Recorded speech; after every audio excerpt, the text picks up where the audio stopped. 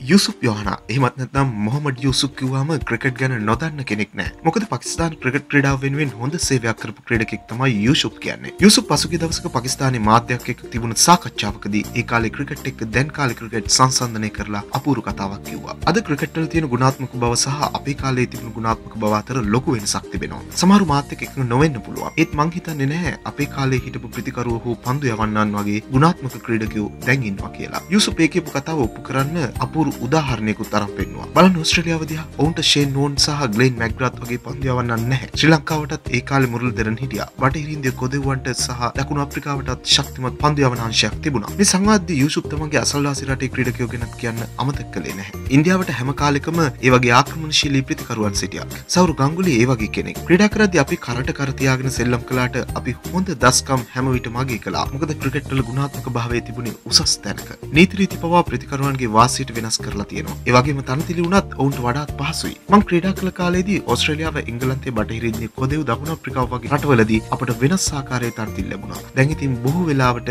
ඒ හැම තනතිල්ලක්ම එක වගේ. මේ දවස්වල ක්‍රිකට් ලෝකයේ ගොඩාක් ලොකුට කතා කරන විරාත් කෝලි ගැනත් යුසුප් අපූරු කතාවක්. ඔහු ඉතා හොඳ ප්‍රතිකරුවෙක් වගේම මං ඔහු ක්‍රීඩා කරනවා බලන්නත් කැමති ඒත් මං හිතන්නේ නැහැ ඔහු තෙන්දුල්කා ඩාවිඩ් හෝ ලක්ෂ්මන්ගේ තලයේ ඉන්නවා කියලා. වසි මක්‍රම් වකායුනි සොයි බක්තාර් සක්ලෙන් මුස්ටාක් වගේ පන්දයාවන්නන් ඉදිරියේ ලකුණු ගන්නවා කියන්නේ සෙල්ලම් වැඩක් නෙමෙයි. මං හිතන්නේ තෙන්ඩුල්කා සහ ද්‍රාවිඩ් කියන්නේ ටිකෙන් ටික කාලය වැය කරමින් දියුණු වෙලා පරිපූර්ණත්වයට ළඟා වෙච්ච ප්‍රතිකරුවන්. මොහමඩ් යුසුප් කියන කතාව ඇත්තද? නැත්තම් කෝලිද මේ කාටත් වඩා වැඩකාරය කියලා ඔයාට හිතෙන දේ අපිට කමෙන්ට් කරන්න අමතක කරන්න එපා. ඒ වගේම තව මේ වගේ වීඩියෝ බලන්න අපේ YouTube channel එකට subscribe කරන්නත් අමතක කරන්න එපා. එහෙනම් තවත් අලුත් වීඩියෝවකින් හමු වෙනතුරු ක්‍රිකට් ලංකා තුලින් ඔබට සුබ දවසක්.